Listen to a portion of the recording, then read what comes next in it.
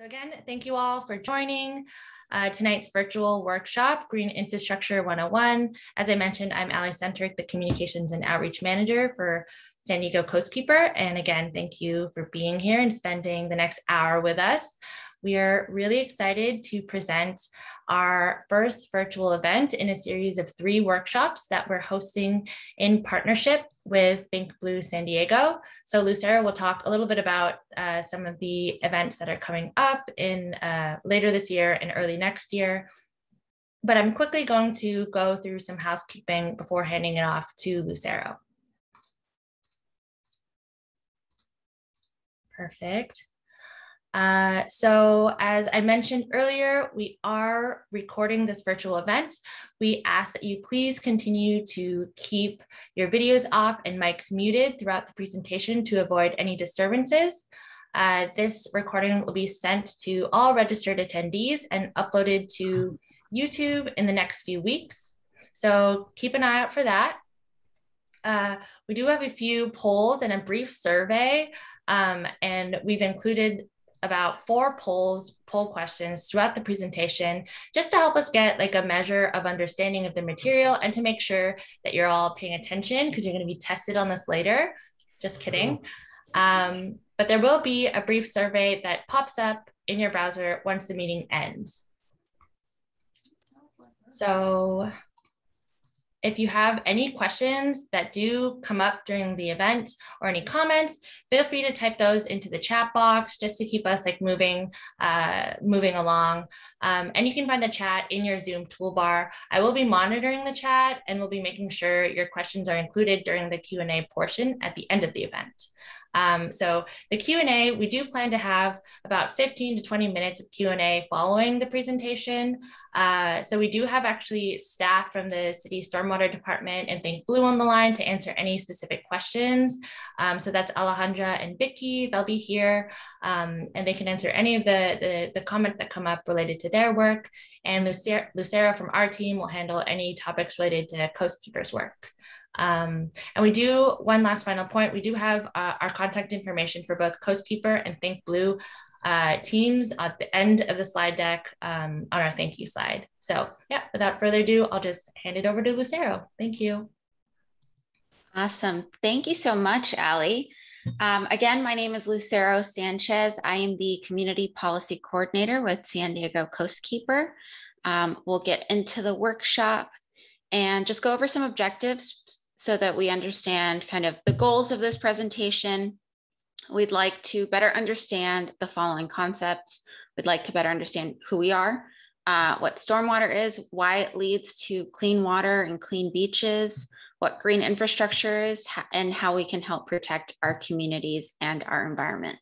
Again, just please add any questions to the chat as we go, and we'll make sure to answer all of those at the end.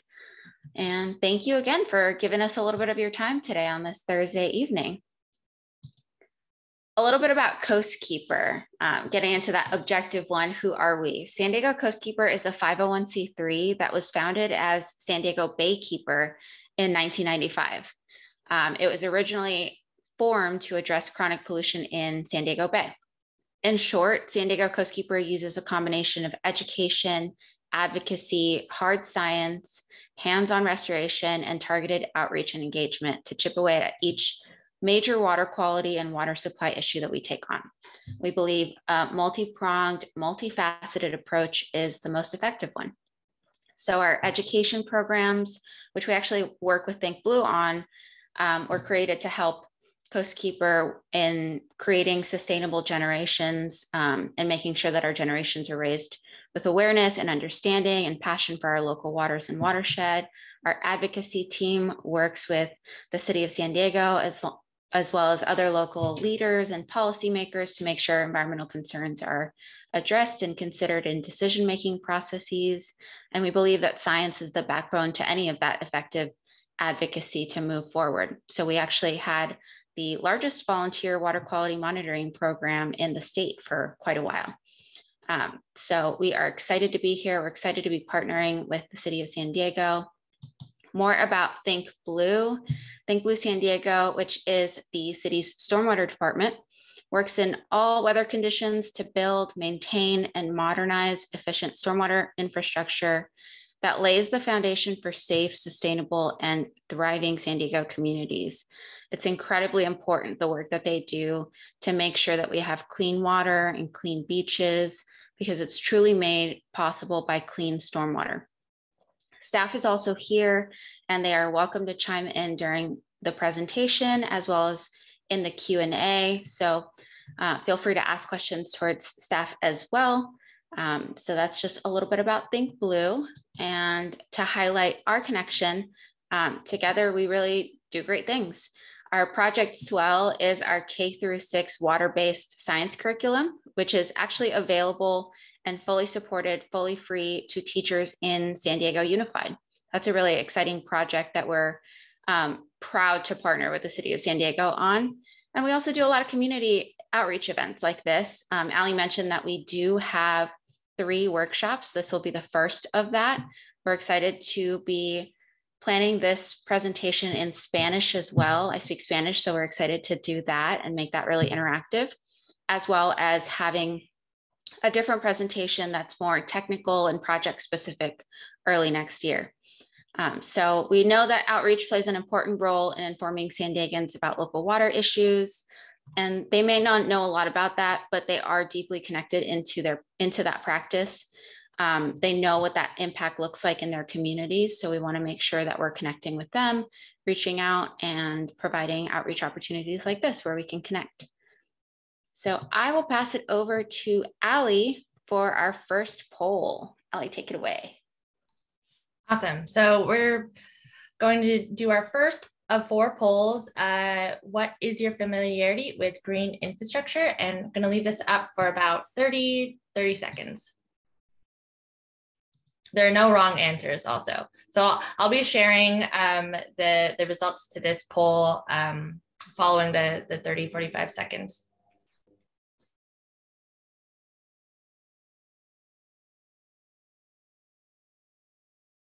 Yeah, we have a pretty wide range of participants from what it looks like, but we're really excited to have this presentation kind of meet, meet those needs for different people. So please feel free to ask as many questions as you like. There's no wrong questions. Um, we want to make sure that we're able to answer all of those. Awesome. So I'm going to end the poll here um, and just share the results. So it looks like uh, most people are moderately familiar, uh, which is awesome at 30%, 37% of you all. And then we have kind of a, a wide smattering, just kind of even split along uh, the rest of the answers. So yeah, I'm hoping that we'll see a bit of a shift towards the, the end of the presentation when we when we do the, the post-event assessment. So yeah, thank you, Sarah. Go ahead. Yeah, thanks, Ali. Um, we're really excited to just do the polls to keep y'all engaged. I know it's 6 p.m. on a Thursday. Luckily, we didn't do this on a Friday, um, but you're going to be able to ask us questions. So we want to make sure that we ask y'all questions as well. Um, going into, before we go into green infrastructure specifically, we want to lay the groundwork and talk about what stormwater is. Pretty simply put, it's uh, the water management name for any water that falls in abundance over urban areas as a result of rain or snow. So essentially, it's rainwater. Um, when water flows out of our yards, down driveways, and out of parking lots into our storm drains, it makes its way through our environment untreated.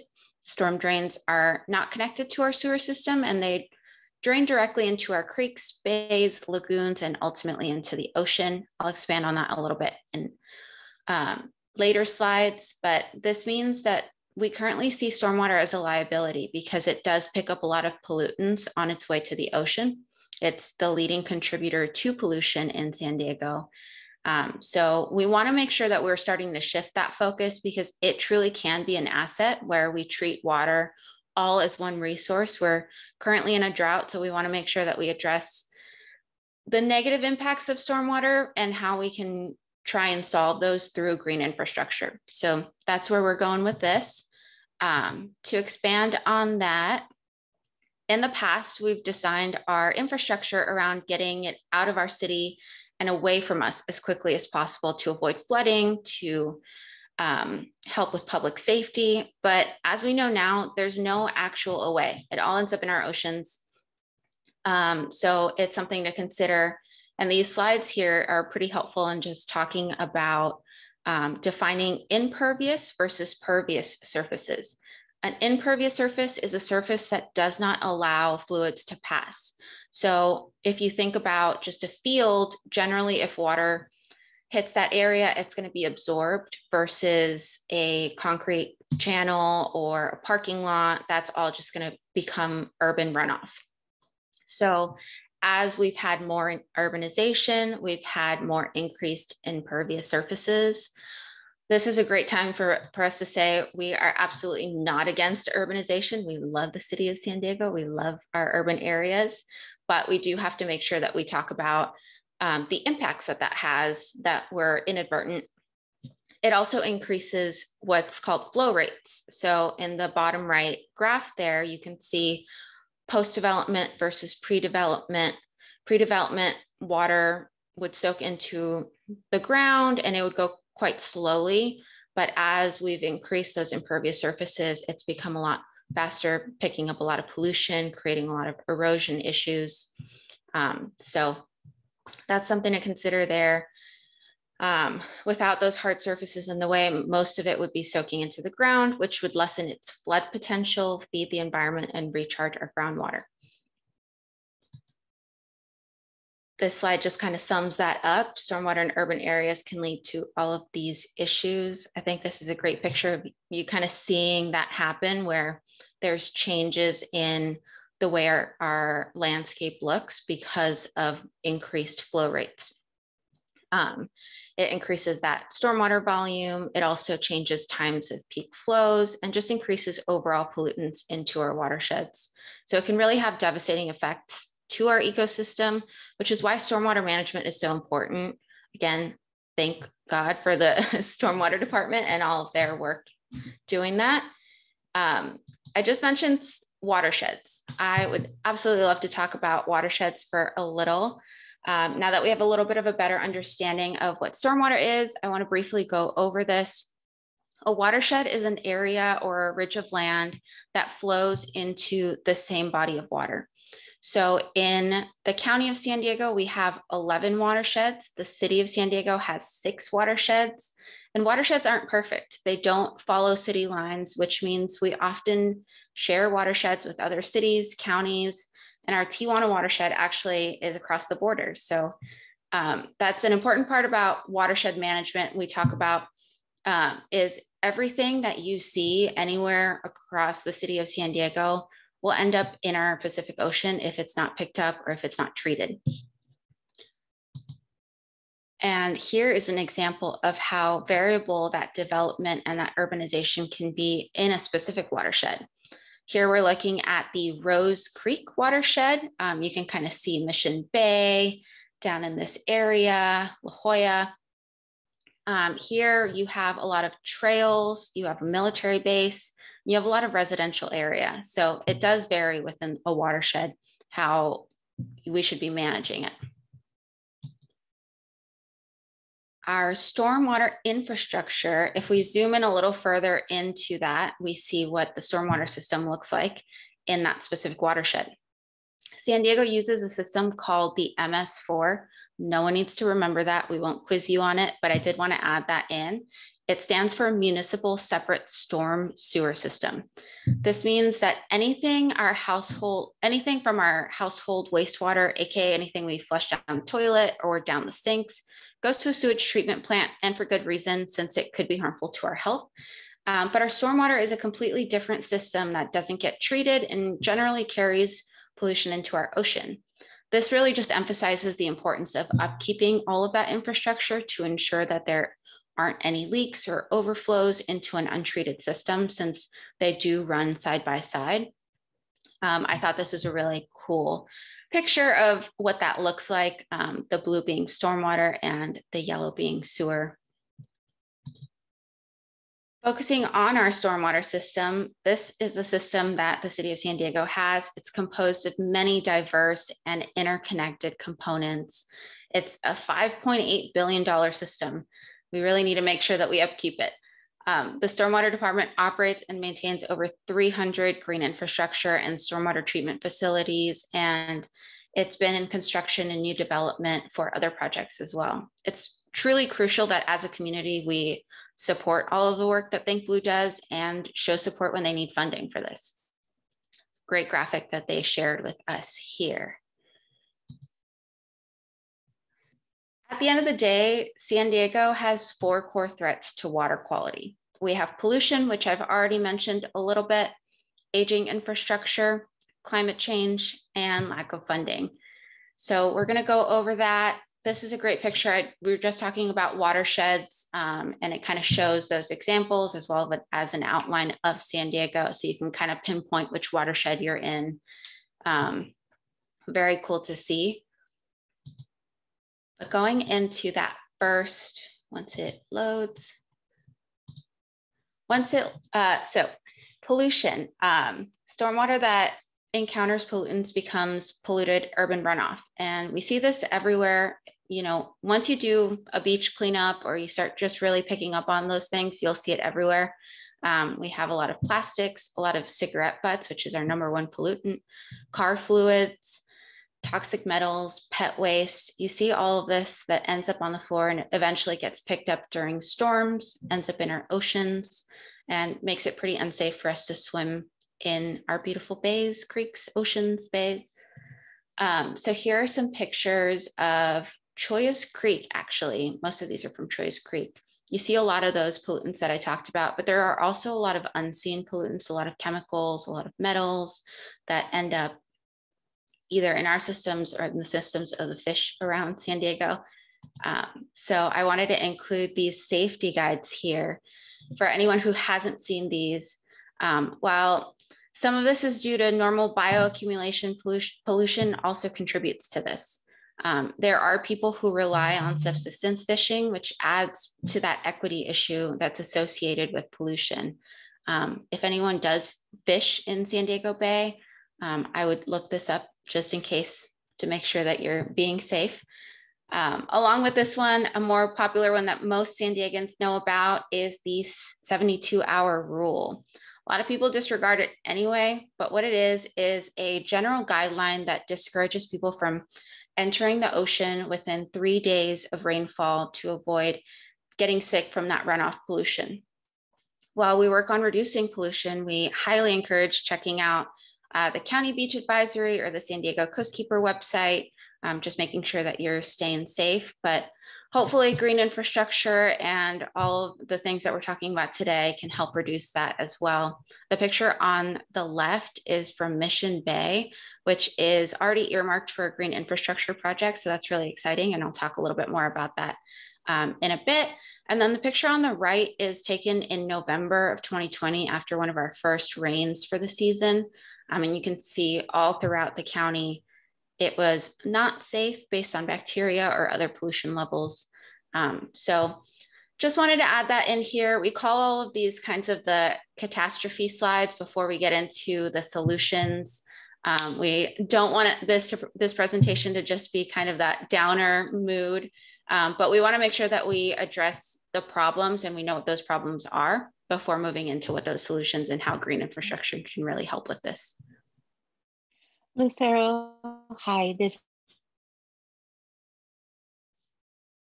I think Alejandra wanted to add. The team, uh, thank you for that overview. Before you walk us to the um, the green infrastructure and the solution, I did want to share that in addition to what you, can you hear me?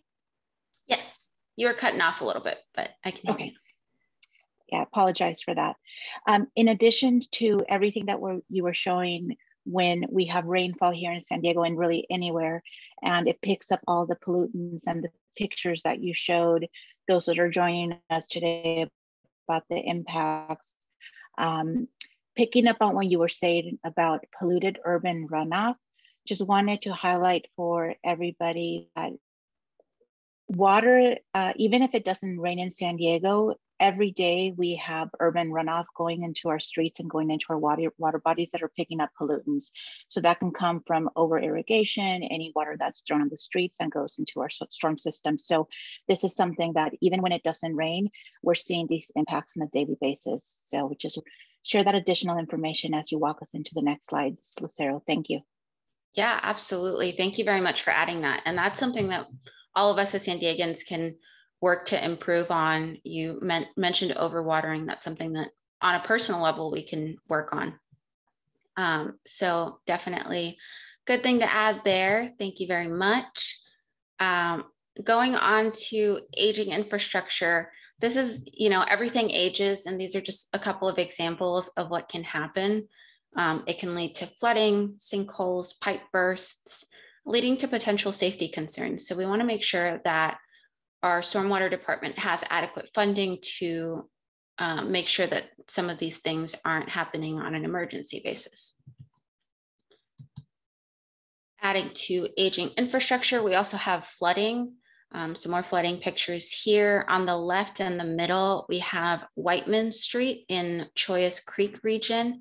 Um, you can see how bad it gets when it rains sometimes, and that's just a result of infrastructure that's older or that needs um, some fixes, some more green infrastructure as well. And on the right, we have Mission Bay. That's a popular one that we all kind of know about that it floods when it rains. Shouldn't be the case, and we can probably work on that. Um, but wanted to add these pictures in here because as we get into the rainy season, we can expect some of that again. And these pictures here highlight uh, some known sites that the city has identified as in need of repair or having water quality impairments. These are really helpful just because you can kind of pinpoint where you live or places that you know and recognize that there are issues throughout the city that you you're a member of that community and you can get involved and reach out to the city, see if there's anything that you can do to help or support, um, as well as just making sure that we know that all of these things are happening. The city of San Diego definitely knows and requires some funding and some support there. So I'm really happy to have these to share there. And then moving on, we can't forget about climate change. Um, San Diego imports over 80% of our water supply from the Colorado River and the Sierra Nevada. Both of these regions, if you look at this map here that was taken um, during the summer, are both in higher tiers of drought than we are. So we really need to make sure that we're finding ways to be more water efficient and ways to increase our own local supply. Green infrastructure, while not always increases that supply, does substantially increase how efficiently we use our water and potentially helps us with that local supply issue. Um, so I wanted to add this, as well as California uses 19% of its electricity for water transport and use. So if we're not spending as much electricity with water transport, that would be a way to also contribute to fighting the climate crisis. So all wins on all fronts. And on the flip side, we can also expect heavier, more erratic rainy seasons, um, as well as sea levels rising. All of these issues just highlight the problem, and green infrastructure could be the solution. We'll talk about what green infrastructure means and more examples of that. Um, but these are some of the pictures of showing San Diego already sees these issues. Um, that's why we're here. That's why we're interested in green infrastructure. So before we get into that, we are shifting into poll number two. Thanks, Lucero. So poll number two, I'm going to bring up right now. Oops, because I was sharing that um, we're going to get into to test if you're paying attention, which four core issues threaten San Diego's water quality. Um, you'll have about 20 to 30 seconds to answer the question here, and then I'll share the results. I intentionally made this a little trickier, so hopefully y'all are paying attention.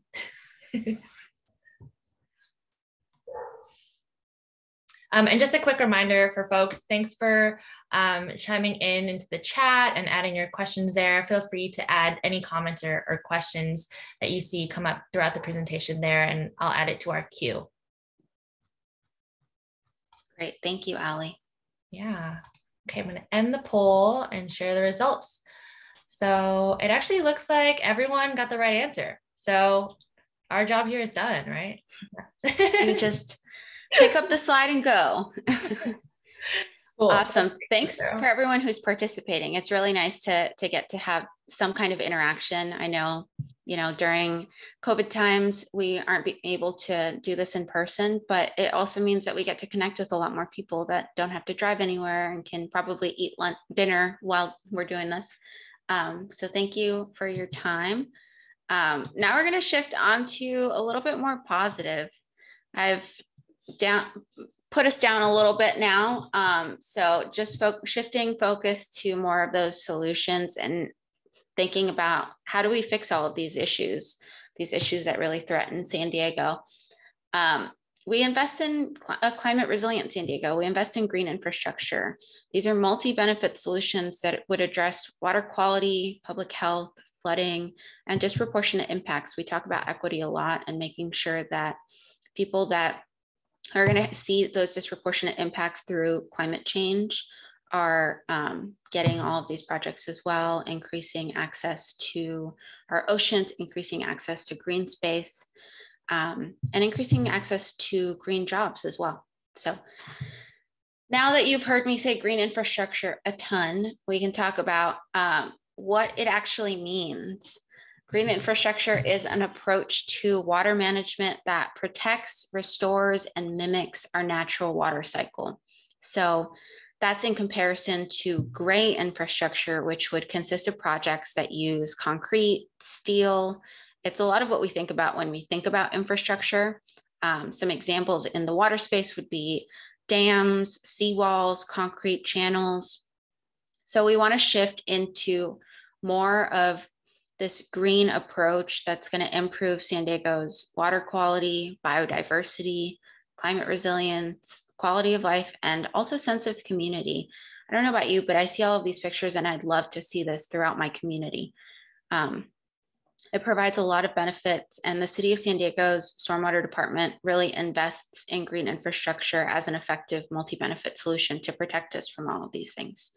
Um, so moving forward, we have a couple more slides on what that definition looks like.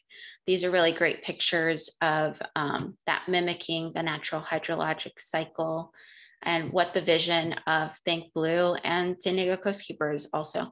Um, here are some examples from a previous report that they had set out, um, just having cleaner water, less flooding, uh, you can see a rain barrel on the side of that house, and then more of that getting back to restoring our natural ecosystems.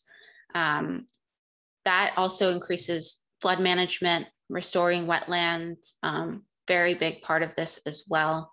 So I really loved these pictures here. And then a little bit more definition. Um, the use of green infrastructure really functions as a sponge to filter out pollution.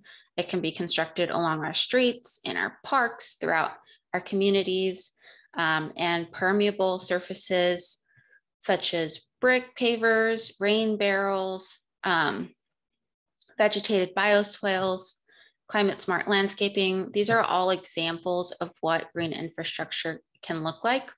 Um, here are some pictures from an event that we actually did um, not this weekend, but last weekend, um, where we did a ride the tide, which was we biked around and saw different examples of green infrastructure in homes. So we took some pictures of these rain barrels, um, more of that native landscaping to just minimize and disconnect from impervious surfaces and move into a more beautiful San Diego. More uh, pictures here. Here's an example of the rain barrels. If you see that top right picture, um, all of that lawn, which we don't love lawns, but it actually covers the picture on the left. It is all capturing water that's um, going up and gravity feeding all of the beautiful trees and plants and landscaping that that home had. So very cool examples here. Some more examples to visualize what the goal of green infrastructure is. Um, it's flow control. We talked about avoiding um, erosion, avoiding picking up all that pollution, uh, detention, retention, two that sometimes get confused, and filtration. Nature is a great way to filter through things as well. Um, so great little example of what that looks like here. Um, moving on to our third poll, let's come up quick. Yeah, awesome. thank you, Lucero. Um, so this poll is just testing what is green infrastructure. So leave it up here for about 30 seconds.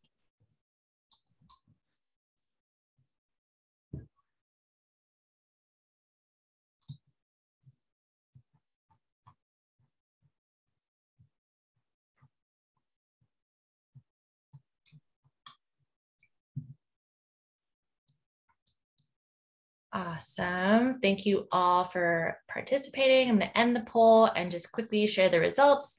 So it looked like most of us got the right answer. So that third one is a little tricky. I worded these tricky kind of intentionally. So it is uh, an approach to water management that protects, restores, or mimics the natural water cycle. Thank you. Awesome. Thank you, Allie. Um, moving on along uh, the stormwater, just to go back to what all the stormwater department does, um, their green infrastructure program has completed the construction of 19 green infrastructure projects throughout the city. You see those um, red triangles there, as well as 24 capital green infrastructure projects in various stages of design and construction a really great part of this presentation has been just learning about all of the projects and making sure that we highlight them. So we're going to go over all of those in a bit. Um, the Stormwater Department has also been successful in being awarded very low interest financing for clean water. Um, and I'll talk about some of the projects and highlight those in a bit, but there's still a lot of need for funding. So please make sure as a community that we support it. We ask for that. Um, first project up on our highlights. It's taking a second to load. Okay, the Chollas, ah, there we go. Awesome. So the Chollas Parkway stream restoration, we were actually able to go and see a lot of site visits for this. There is Lucero for scale. Um, we're going to be going over these current or completed projects as exam as an example of what green infrastructure can or will look like in San Diego. This project is currently in the concept design phase. It's a stream restoration project that proposes the restoration of the Chollas Creek from Culvert Outlet at 54th up through Euclid Avenue. Um, so this picture on the right is actually from a different completed project in similar area. So that's kind of like the probable before and after. You can see that gray infrastructure in the background on the top left picture. You can also kind of see some concrete on the sides. So we wanna make sure that that's all out. Um, very exciting project, super happy to see this moving forward. And then this project, actually want to highlight that this is one that is moving forward because of some grant money that um, the Think Blue team has been able to acquire. Um, it's finished its design phase and is now moving on to the next phase thanks to that funding.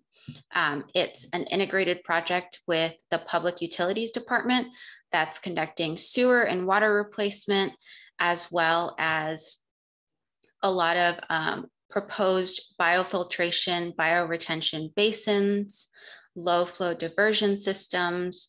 Um, you can see some shoreline restoration. The picture on the top right, which we've talked about earlier, that's um, that pink area on the design map. So you'll see that being restored. And the bottom right is a storm drain outlet, um, which will also be replaced. So great project as well. I highly encourage anyone that lives near these areas to check these projects out and see firsthand what they look like. Um, Kellogg Park is a project that was completed. It really uh, was designed as a treatment control utilizing best management practices in the parking lot of Kellogg Park um, to treat stormwater and urban runoff. Uh, the project in this include elements that are going to capture surface runoff from the parking lot and public right of way, and the elements will filter and infiltrate the water to minimize pollutants. So you see some trash enclosures on that picture on the right. Um, also just improved drainage, new landscaping. We love native plants. Um, this project and also in addition added a vegetated bioswale um, so this is a good project to check out as well. You don't think about it when you go to the beach, but you're in an area that has green infrastructure that was very thoughtfully created to protect our ocean and our beach in that area. Um, so moving on to another project here, which actually looks very beautiful. Um, Ashley Falls was actually just finished. So these are pretty fresh pictures. Um, but this project was implemented to improve water quality in um, stormwater runoff for the area, which discharges into Carmel Valley Creek, Los Penasquitos Creek, Los Penasquitos Lagoon, and into the ocean.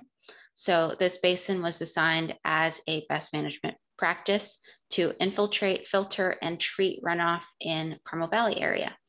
Um, so you can see some pictures here of that concept plan. Yes. Yeah.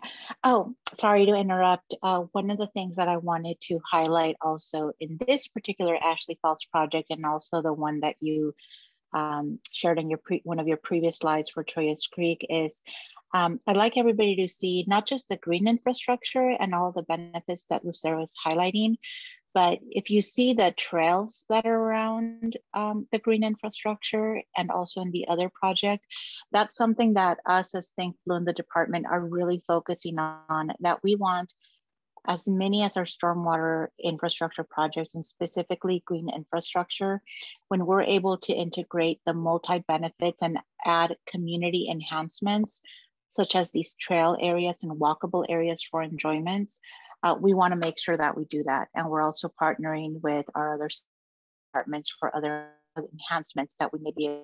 So this is combined with what our partners Coastkeeper shared at the beginning, that we really want those multi integrated approach to our stormwater management. So anyways, just wanted to make sure that you enjoy the, the walkways and the tour added in the projects. Thank you. Yeah, thank you. It it makes it really accessible to be able to see these projects up close and get some ideas um, of things that you can implement on a sc- smaller scale or why you should be showing up and supporting these larger scale projects. Um, in addition, there's also a lot of interpretive signing signs in the area to show either before and after pictures or what the design looks like. Sometimes there's things that you can't see because it's underground, and there's a lot of planning that goes into that. Um, this one specifically, you can see a lot of the green infrastructure, which is great. Um, but some of them you'll go there and you're like, I, I don't really know what's around, but we do have those signs to um, include community awareness and engagement as well. So just to wrap up um, benefits of green infrastructure, I know we added a lot and we can go into like super details, which is why I will again remind everyone that we will have a more technical presentation um, with some project experts um, to talk about the mechanisms of specific projects, and we'll just focus on a few. Um, but benefits of green infrastructure, really improving that water quality through so many ways, through capture, through treatment, through all of these solutions. Um, creating flood safe communities. Again, our infrastructure, our stormwater infrastructure is meant to help us with flooding um, and along our coastline, creating those um, marsh, marshes, wetlands, and restoring those is also going to help with um, sea level rise and with other flood issues like king tide season, things like that. Um, and restoring and revitalizing our natural spaces. It's time for us to be able to see all of this and have green access we didn't have it in this presentation, but there's a great map that I highly encourage you all to look up. Um, it's green access in San Diego, and there's different regions that don't have a lot of that green access per um, the density of population in that area. Um, so definitely check that out. Um, reuse of stormwater. We are huge proponents of stormwater capture, making sure that that's something that is a part of our system to increase our local supply, to increase our drought security. um, strengthening our city and bringing our community together. All of these projects, as Alejandra mentioned earlier, are community enhancements. It's to learn and to have a sense of stewardship for all of this. Um, so we're really excited to see more of these projects move forward, more of these things be funded. Um, so with that, I will go into poll number four. Take it away, Allie. Yeah, I'll just go really quickly here, probably leave this up for 20, 25 seconds because uh, I do want to jump into the Q&A shortly after. So we're just testing how well uh, we did on this presentation and, and just kind of gauging um, your all understanding of the information that we presented. So thank you very much. Um, and again, thank you for, for popping those questions into the chat or sending me a direct message. I've got uh, quite a few questions here. So really appreciate you all staying engaged. Perfect. And this poll. It actually looks like we had a considerable shift towards moderately familiar, very familiar, and extremely familiar. So I just want to reiterate uh, to like thank you all for your time. Um, and then now uh, we'll throw it back over to Lucero to go over um, the, the last slides and then the Q&A portion. Awesome. Thank you very much. It's very exciting to see, at least in this short time, just talking a little bit more about green infrastructure and hopefully getting people excited for this. Hopefully the people that are moderately familiar went to extremely familiar and didn't not pay attention. um, moving into the next slide here. How can you help? How can you do these projects? We talked a lot about large scale city run projects, but there are things that you can do um, yourself as a homeowner um, you can help by having rain barrels and using that water for your own landscaping, for your own gardens. Um, having more native landscaping. We have a lot of lawns, and quite frankly, I think native landscaping is much more beautiful and so much more water efficient. Um, we can install gray water systems in our homes. Um, that would entail using laundry water for our landscape, or we like the term showers to flowers. Um, and just making sure that you access resources. The city has a lot of rebates and a lot of different information uh, as to how to get involved. Um, I know the city mentioned that they would like to add some resources to the chat. Um, so check that out. Check out the thinkblue.org website, .com website. Um, also, which we'll have in the final thank you slide with all of our contact information. And just remain engaged as well. For these larger projects, it's really important that community shows up and says, hey, these are the projects that we want. We want green infrastructure. We want these things to be funded. So just remaining get engaged, remaining connected to Think Blue, to their newsletter, to our newsletter when we have stuff that we're able to support with. Um, it's small things like that that can really move our city forward. So with that, I will shift over to Q&A. I'll stop sharing my screen for a little bit and then we'll add the screen back up for our contact info. Awesome. Thank you, Lucero. So I do have a list of the questions that folks have been adding to the chat. So I'm just going to go chronologically because that's easiest. So Arn Johansson asks, is there any action on correcting the down cutting happening in many drainages into which stormwater is dumped? So I'm assuming that they're talking about erosion. Um, so yeah, I actually will throw that over maybe to the city, to, to Vicky or Alejandra to see um, if you have any answers to that question. Um, yeah, so one of the things that we do in the stormwater department is um, address erosion control because that's also something that brings pollutants and it changes the natural landscape and can also increase some of the flooding impacts. So uh, one of our projects actually for the Los Pen Lagoon is to address um, sediment issues. Um, and as far as maintenance is concerned, a lot of the sediment and vegetate, the sediment that um, that is accumulated in a lot of our channels that are our flood management infrastructure. The city every year goes through uh, a prioritization process, and there's also a community survey to see what the community uh, is prioritizing as well. And we have a maintenance schedule to deal with that, um, and then also with the vegetation. But um, absolutely, that's one of the key things that we address and um, sediment management and the pollutants in the sediment is something that, as a matter of fact, uh, we're regulated to clean up and address in some um, highly polluted areas. Thank you, Alejandra. Um, okay, next question is from Tony De Garate. Sorry if I'm messing up the pronunciation. So, um, oh, I think I answered this in, answered this in the chat. Uh, he asked about the various watersheds on one of our previous slides. Um, so actually all of the watersheds drain into the Pacific Ocean. That's the common water body. They all kind of get their different ways. Um, but I don't know, Lucero, if you have anything else to add to that, but I think it's pretty straightforward. Yeah, yeah. All of the watersheds in um, San Diego County, so also the city of San Diego, all drain into the ocean. They take some pit stops, but eventually all make their way down to our oceans. Um, if anyone's interested in what watersheds they're in, we do have resources on that um, on our website, as well as there's other websites that you can look into and kind of follow um, the way things would make their way down.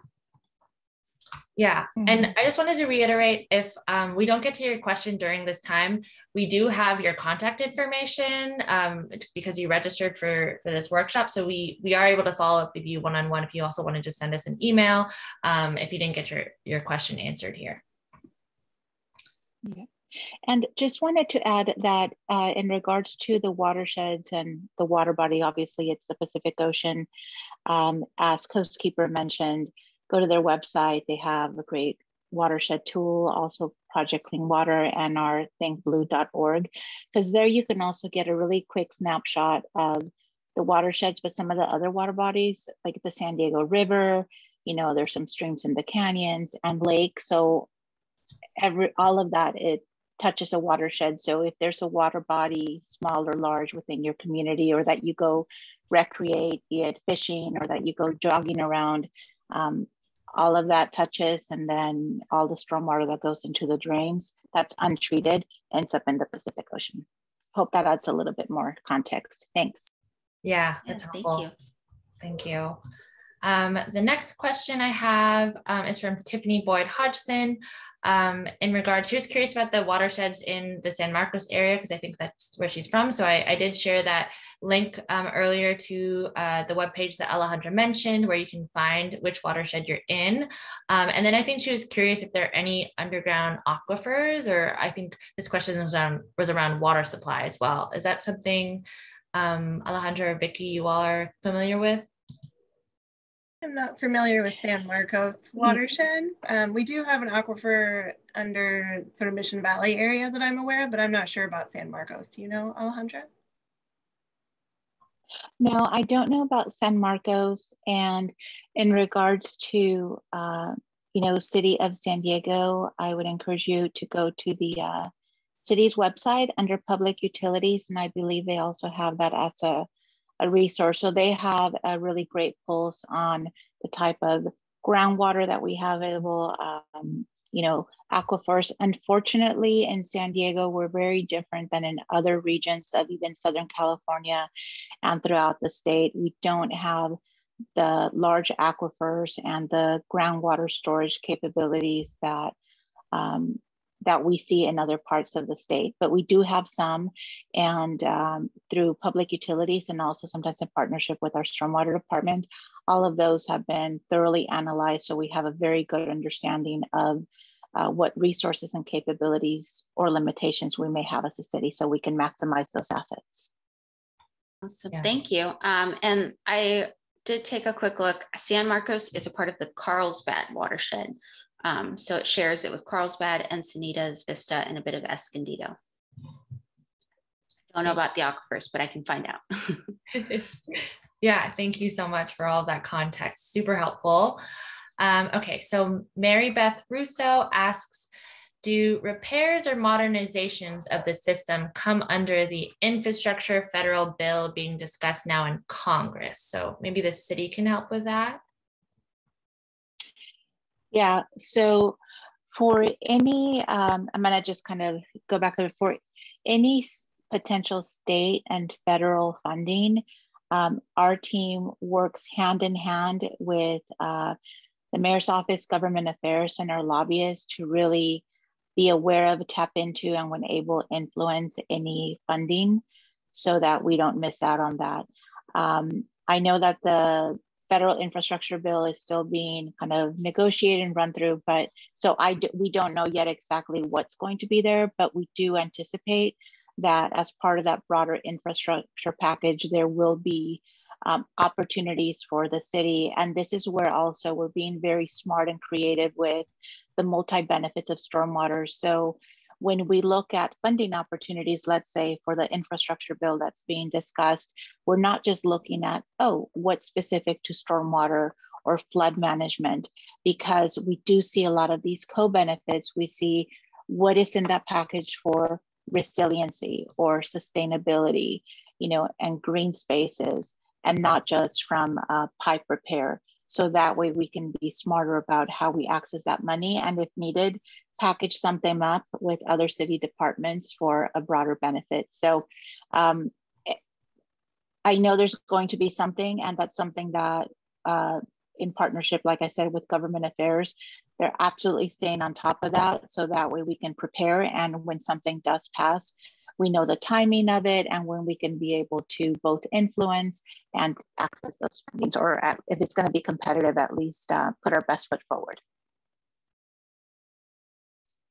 Thank you. Thanks, Alejandra. That's that's very helpful. Um, yeah, I can I I feel like it can often be kind of uh, cloudy how like the the federal funding gets to the local level. So I appreciate that context. Um, okay, so Lance Dyer asks, what's the intent with the Ashley Falls project to capture and retain stormwater? I don't think he saw any obvious outflows. So maybe you all can talk a little bit about that. Um, that may be one of the projects that we go into early next year as well. Um, so just seeing if you have any information off the top of your head. Yeah, um, the Ashley Falls project is meant to treat pollution. So it does have an uh, sort of out, I would say an outfall, but it does have a pipe at the bottom that you can really see from those photos that it does flow into the storm drain system and eventually out into the Los Pen Lagoon and the ocean from there. Yeah, and then here I added again in case we wanted to get those slides yeah. back up and point out any areas. Mm -hmm. Yeah, it's kind of so kind of by where the D is, is where the pipe that where it goes. Mm-hmm. Yeah, it goes underground there. So this one, yeah, it definitely catches water and helps with some type of you know flood management uh, minor that comes into this area again from multiple uh, one watershed, but just multiple creeks and parts of the community. Um, and I don't have the details, I can get them, but it's able to retain a certain amount of water. And then it, as it percolates down, uh, it actually is uh, filtered, and that's how we get the benefit of water quality. So, in this particular one, um, it's really meant to address some of the key pollutants in the area um, metals, bacteria, um, some viruses, and we added another layer that it actually captures trash as well. So once we have these types of projects, um, just for awareness, the the establishment phase for the vegetation, once all of the infrastructure is in place, it's about a two-year process for all of the vegetation to fully grow. And then we need to maintain it in perpetuity, meaning that it gets checked to make sure that it's working as it's meant to be uh, the trash captures and you know everything is clean so that when we do get the next storm drain storm rain um, you know it's not plugged up and it can be work as needed. So i hope that um, answers your question. So it does address with some of the you know the water and the flooding but the main intent of this was for uh, addressing water quality issues and those key pollutants that are pollutants of concern um, and that we are actually um, mandated from a regulatory standpoint to address. So this is one project that is the piece of the puzzle towards addressing our broader, our broader water quality needs. Yeah, thank you. Thanks for bringing that up, Lucero, too. Yeah, um, thank you for the added info. Yeah, super helpful. Um, I do want to remind folks that if we don't get to your question, we're happy to follow up offline and via email. Um, all our I think I added all of our contact info to the chat, um, and we'll have that as our last slide as well. So the next question is from Mary, Bo Mary Beth Russo. Um, are there any projects, I'm assuming, that are reusing stormwater now? If so, how? I'm not.